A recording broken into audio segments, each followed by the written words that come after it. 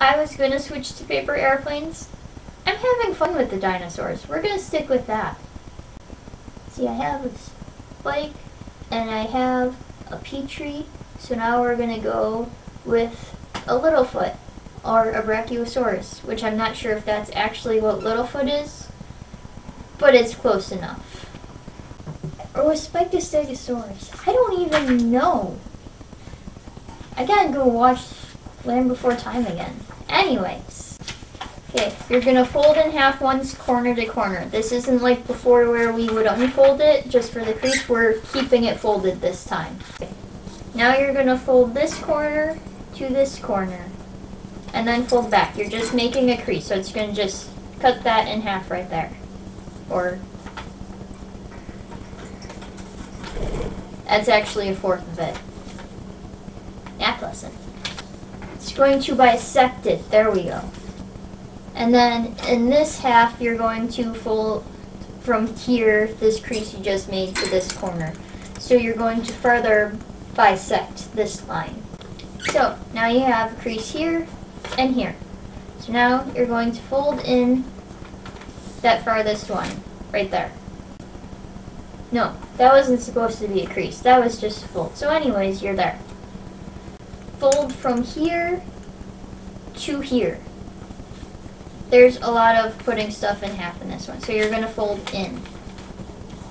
So now it's going to look like that. And now you're going to open all that up. Right, once you've unrolled it, you're basically going to fold it all up again. But you're just going to go one way, and that's folding in from the outside, almost rolling it.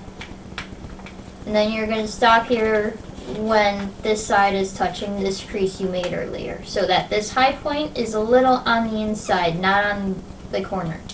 Then you are going to fold this down. On the back, if you look, there's this fold. You're just going to go right from this top point here. Down like this.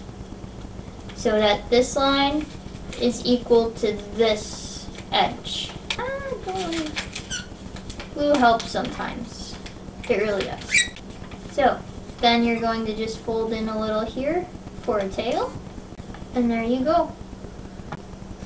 You add an eye. This time it is not an angry eye. So, you know, that's nice.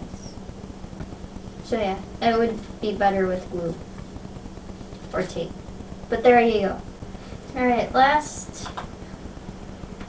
Like, this is going to fit in five minutes. I'm trying to get here, though, for a reference. Alright, last, of course, if we're doing Land Before Time, we need our Sharptooth. Alright, you're going to fold in half to make a crease and fold back. Not both ways, just one way.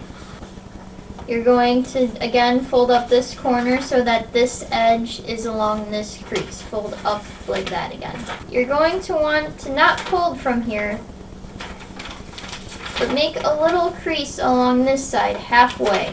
So just fold it just right on the edge. Ah. It would have been easier if they told us this earlier, but whatever.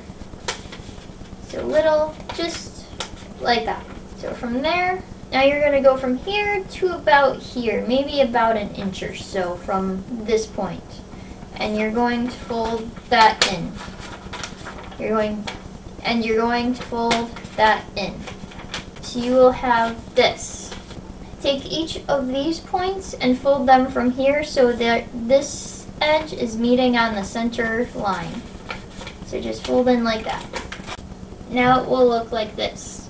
Now from here to about here, about halfway on this edge, you're going to fold that backwards. So now it'll look like this. Then you're going to just fold in right here so it's straight along the bottom. Just fold in a little bit for a tail here. And then you're going to just fold backwards here a little so it's just straight down from this point. Then you add your details. And there you go. Possibly the cutest T-Rex ever. Except for like the one in Dinosaur versus Bedtime.